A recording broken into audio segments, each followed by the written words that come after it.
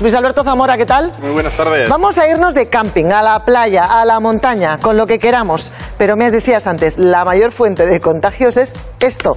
Las neveras, ¿qué pasa? Es- ¿Que no, no pasan por el agua o qué? No pasan mucho por el agua y muchas veces nos olvidamos de normas básicas que tenemos que tener en cuenta con este elemento común, vayamos donde vayamos ahora y más a- eh, ahora con todo el tema del coronavirus, que volvemos a los picnics y demás. Pero sin coronavirus también hay que lavarlas, Exacto, amigo. ¿eh? el verano es época de tosinfecciones. Mira, el primero de los Me fallos que, que tenemos que hacer, eh, o el primero de los fallos que solemos tener es que cuando tenemos que poner algo que enfríe, porque esto refresca, pero no es una nevera como la de casa que se enchufa, es coger esa bolsa de hielo que luego utilizamos para los mojitos. Y eso es uno de los principales errores. Es un poco asco, ¿no? ¿Por hecho. qué? Porque se va deshaciendo, va saliendo líquido y eso es un caldo para bacterias. Con lo cual, las placas estas que para enfriar que nos venden, o mira, otro truco si no te quieres gastar dinero, que suelo hacer yo es coger los tetabric vacíos de la ¿Sí? leche, los lleno de agua y ya tienes un bloque de hielo que también me va a ayudar a enfriar esta nevera. Con lo cual, esto de meter la bolsa de hielos, nos olvidamos. Otra cosa, cuidado con qué tipo de, de recipientes y envases metemos dentro con la Sí, comida. tú eres muy pesado con los envases, pero es verdad que no todos garantizan ni que los alimentos eh, permanezcan seguros ni que no goteen, ¿no? Ese es el tema, que no goteen. Lo normal es que sean herméticos, no como estos, que fíjate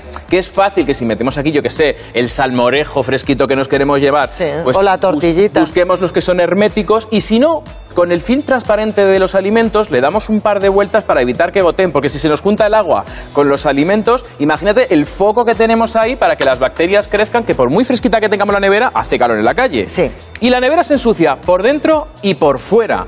Con lo cual, hemos aprendido algo en toda esta pandemia, que es la famosa lejía. Limpiar bien la nevera, que muchas veces se nos olvida. Y ojo, dejarla secar antes de volver a taparla y de volver a guardarla para que lo, lo- lo- lo que decimos, no generemos un caldo de cultivo. Y luego, esta nevera, aparte de comida, suele llevar otra cosa que nos apetece mucho, que es la Bebida. bebida. ¿no? Yo he traído agua. Cada uno lo que quiera, pero yo he traído agua. Pues ¿Para qué pasa? vas a traer una cervecita? Pero vamos a poner el líquido base, que es el agua. Sí. Eh, la nevera, para que funcione, hay que abrirla cuantas menos veces mejor. Con lo cual, muchas veces, cuando tenemos la bebida y la comida juntos, abrimos la nevera, bebemos, cerramos, abrimos. Entonces, pues llevar dos neveritas pequeñas en vez de una muy grande, una con la comida y otra con la bebida, y sobre todo, siempre a la sombra y abrirla lo menos posible. Vale, esto- con la nevera.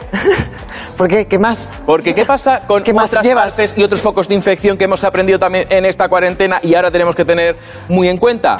Las manos. Sí. Porque imagínate, estamos en la playa, tocamos la arena, nos echamos la crema, nos ponemos un poquito de gel porque ahora vamos a comer y ya hemos aprendido que tenemos que desinfectarnos. Imagínate qué batiburrillo llevo yo en las manos y luego voy a tocar lo que voy a comer. Con lo cual, lo primero que tenemos que aprender, que es básico, es que antes de tocar los alimentos y haber estado manipulando la nevera, lo primero que tenemos que hacer es lavarnos las manos. No me digas que te has hecho un grafismo de algo tan básico como eso. Pues es que lo ves en la playa o lo ves en la piscina de que estamos tocando todo y luego directamente comemos. Y ojo con el gel hidroalcohólico que es la estrella ahora, ¿no? De sí, sí. Que Pero, muchas veces, pero ya nos advierten que la playa puede generar quemaduras, ¿eh? por ejemplo, puede generar quemaduras y aparte de, si yo me desinfecto las manos y luego toco la comida, parte de ese gel, sobre todo el tipo de viscosidad que tenga, va a ir a los alimentos. Con lo Vale. cual yo incluso prefiero que llevemos una botellita de agua, el típico chorrito y nos lavamos las manos. Bien. Lo digo, cosas que he observado ya. Aparte, el famoso cuchillo de cortarlo todo. De que esto, de que corto la tortilla, corto los filetes y voy pasando. Imagínate que esa tortilla, por lo que sea, tiene salmonelosis, tiene salmonela. Con ese cuchillo se lo acabo de distribuir a, A todo, a el todo mundo lo que había, ¿no? alimentos. Ojo con lo de mantener la nevera siempre, porque mucha gente vamos a la playa, o van, yo no puedo, sin sombrilla y la nevera la dejan al sol, siempre a la sombra. Y un truquito, la podemos a la sombra enterrar un poquito en la arena y poner una toalla clara por encima. Ayuda a que guarde más el pañito. frío. Vale, ¿y lo de la venta ambulante qué? Porque no lo he visto, pero por si aparecieran, ojo con el tema de los mojitos que van los vendedores ambulantes, que el año pasado ya vimos un estudio que había restos de bacterias fecales. Buah. Lo cual, ojo con esto. No sigas, no sigas. Eh, Vale, hemos eh, abordado el continente. Vamos con el contenido. Y no me digas que no se puede llevar mayonesa porque eso ya lo sabemos. Lo sabemos. La mayonesa, lo sabemos. Sí. La ensaladilla rusa, También lo sabemos. La.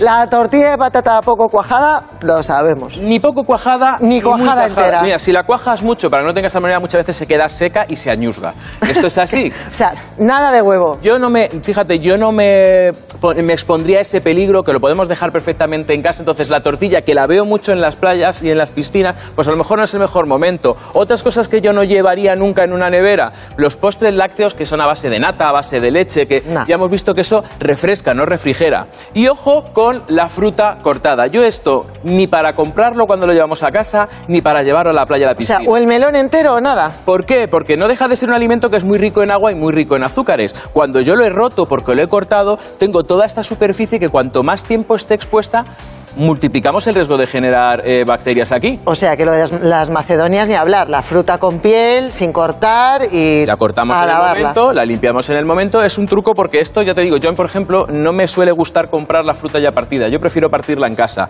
Y otra estrella.